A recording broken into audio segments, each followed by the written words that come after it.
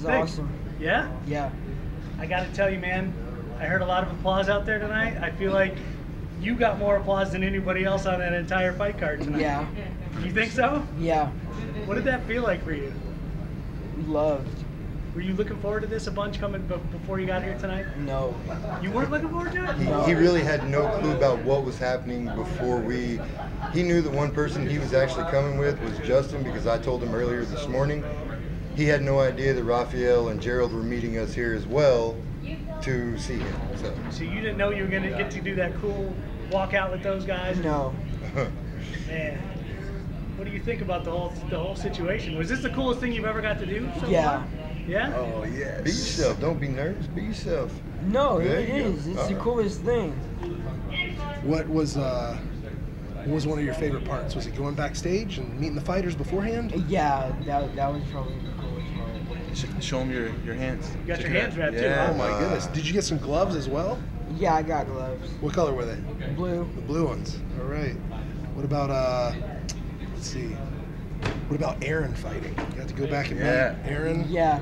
It's a big night for us. Big Yes. night.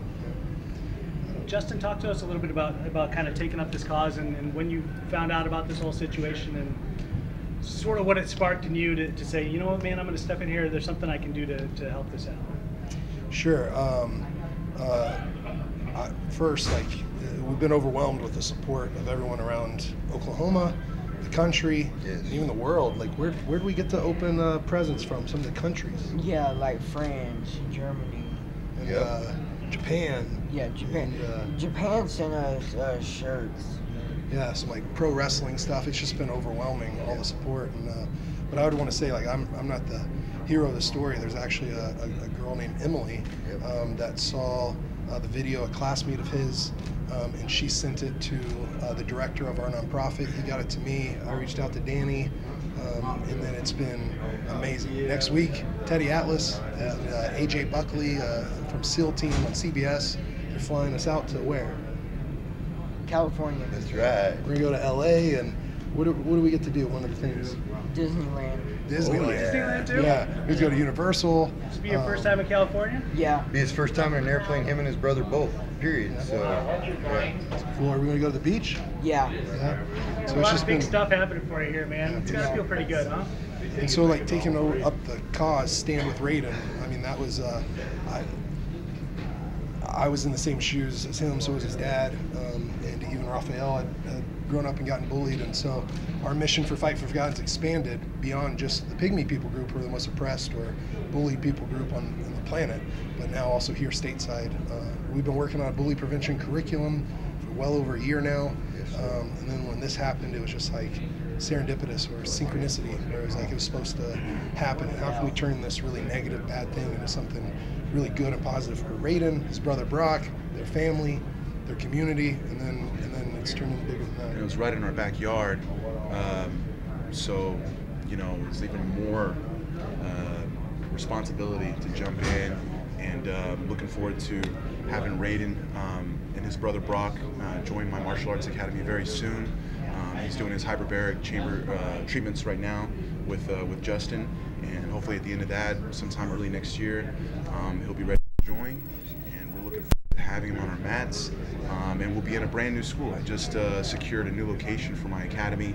Um, we'll be in there January 2020, um, and uh, we can't wait to have have Rayden on our mats and, and get him learning the, the martial arts lifestyle and empowering him through martial arts, and just continue the work that uh, that Justin started and you know keep spreading the love and the martial arts Yep. um, throughout for all the kids.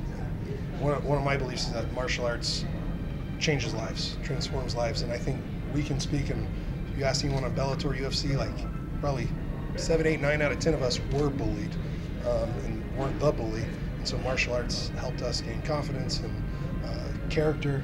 Um, and Gives us uh, friends, an outlet. yeah, Yes. family, um, and uh, and it, it definitely gave me hope whenever I was suicidal and and and, uh, and yeah, just incredibly bullied. Like it was the martial art of wrestling for me, and then I found jiu-jitsu and uh, MMA and everything else. And so when I found MMA, I thought.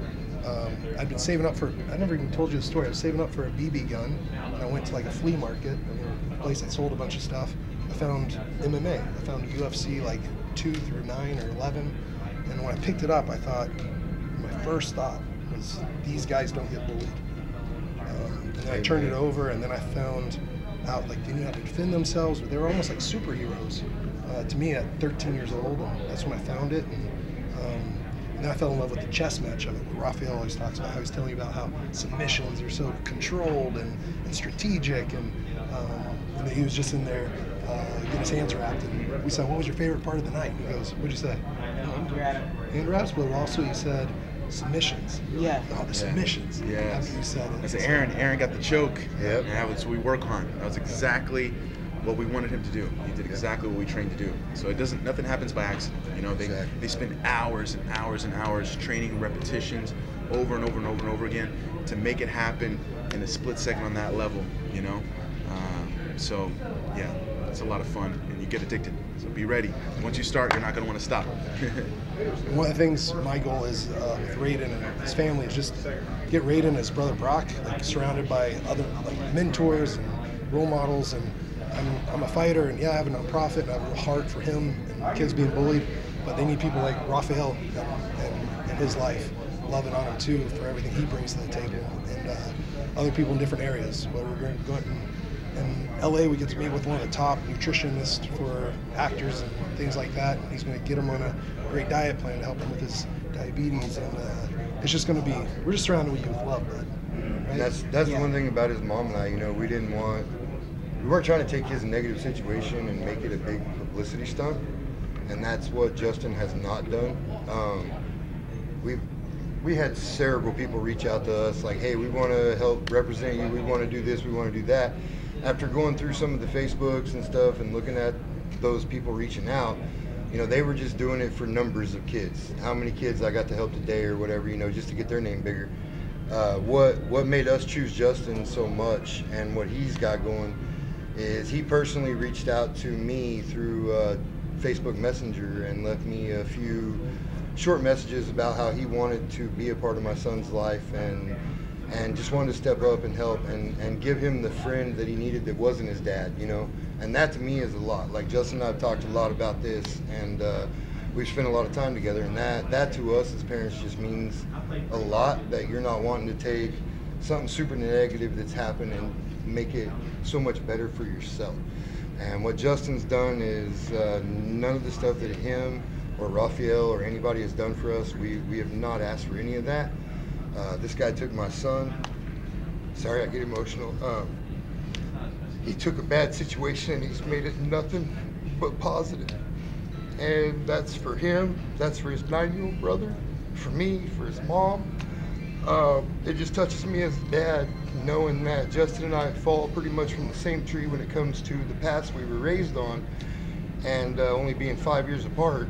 Um, it just makes me feel good as a dad when Justin calls or sees Rayden and he's like buddies, and my son loves him like like an uncle. And I've I've uh, we my wife and I have uh, we've deemed him family for life. Like he's never gonna get rid of us, and Rafael as well. Um, these two were two of the very first guys that my son actually got to meet and intervene with uh, after I got the phone call from Justin and both of my sons were there. Um, yes, it's about Rayden and his negative situation, but we we don't want this to trickle down to other generations and other kids. You know, this is what Justin's trying to fight and what he's trying to stop, and that's what the fight for the forgotten and uh, the bully organization and, and the curriculum and everything that Justin's got. I actually have a copy of it. I was blessed to get a copy of it um, through this situation to see what it's about and.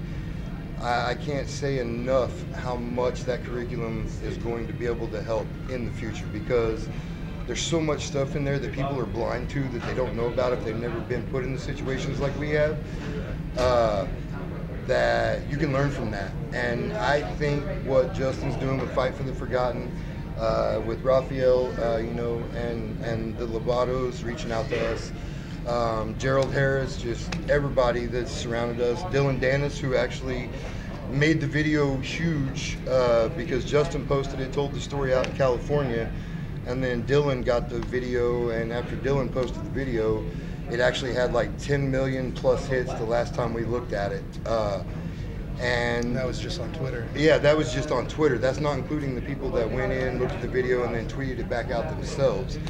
Um, but just the support that he's had, uh, whether it be from computers, whether it be from a phone call, um, whether it be from somebody sending a letter or a card.